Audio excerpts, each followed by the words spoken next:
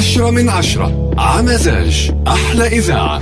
نجم الأسبوع. من بعد ما أطلق ألبومه الأول سنة 2001 واللي كان بيحمل اسم شو بيمنع زاع صيته وانعرف اسمه بلبنان والعالم العربي. وصاروا الناس بيتابعوه بيستنوا حفلاته وألبوماته وفيديو كليباته المميزة وارتبط اسمه بالجرأة اللي بيقدم من خلالها أفكار جديدة لأنه جريء بتقديم اللي ما بيجرؤ غيره على تقديمه. أكيد طبعا بأسلوبه وستايله المميزين. معنا ومعكم مستمعينا star of the week ال one man show الفنان اللبناني جو أشقر يسعد لي مساك. يا أهلا وسهلا. يسعد مساك ويسعد صباحك. شو أخبارك؟ يا هلا يا هلا يا هلا. أما عن فكرة ال one man show فحكى جو. أول شيء خليني أفسر لك آه، مفهوم ال one man show هلا مفهوم ال one one man show مؤخرا آه، صار رايج آه، هيك بطريقة شوي آه، إنه أقل من قيمة هالكلمة.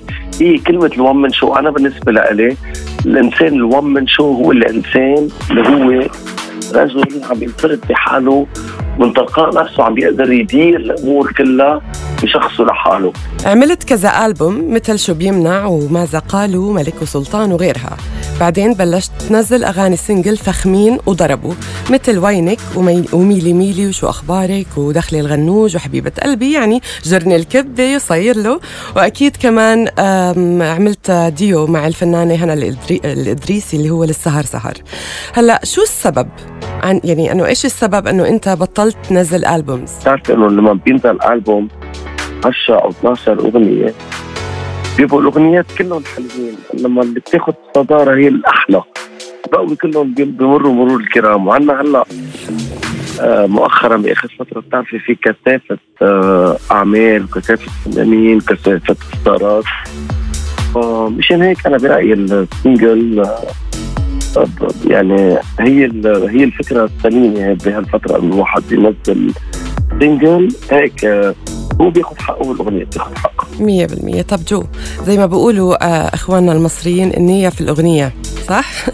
أغنية كبر الولد نزلتها على يوتيوب ب 14 أربعة تقريبا وال slogan كان لقواس صحة وهنا. وال slogan كان لقواس مش عادي وقف هالعادة. وبعدين آخر أغنياتك مصاري من وين؟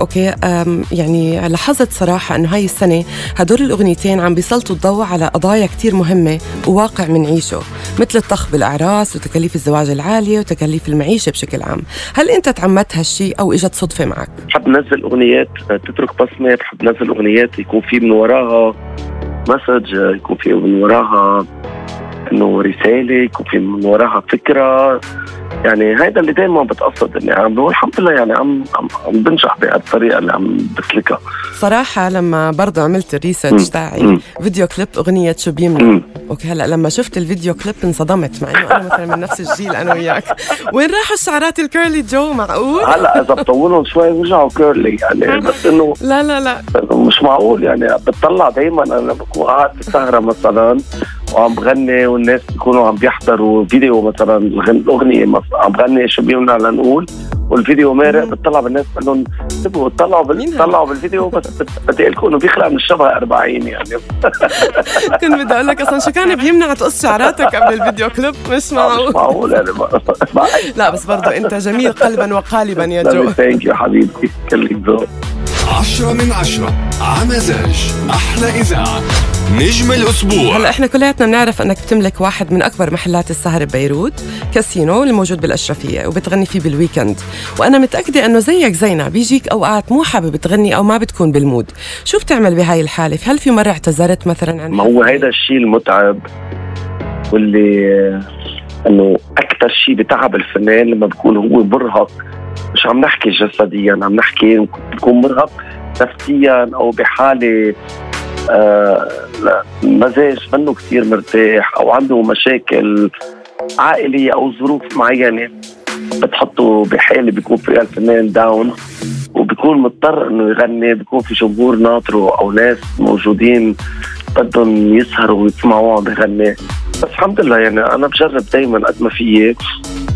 إنه اتخطى هال الظروف اللي أحيانا بكون موجود فيها و بعتبر حالي نازل اسهر مثل مثل هالناس نازل. وإنت صراحة أكثر حدا بيعطي positive energy تسلمي thank you حبيبتي. عن جد ما شاء الله الله يتم هاي نعمة.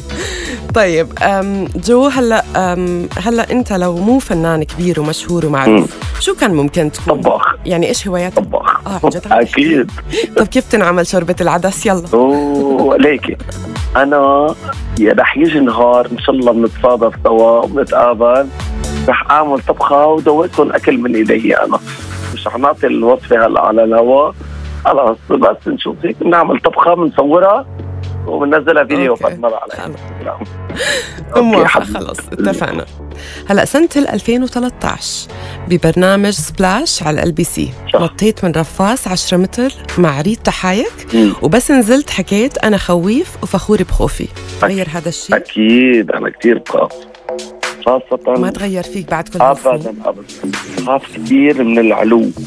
هلأ في شيء تغير فيه أنا كنت كثير خاف على فكرة من الإبرة من الحقنة يعني.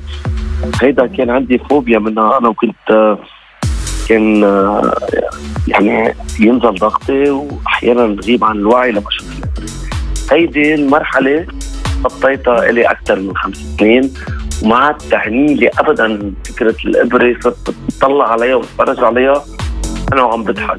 بس العلو الشاهق وهذا آه هذا الشيء أنا ما, ما يعني ما بقدر ما بقدر أتحمله. هذا بيعمل لي شو خوف. أكثر إشي بخوف عملته بحياتك؟ أكثر شيء بخوف عملته بحياتي. لا لو في شيء بخوف ما كنت عملته أصلا.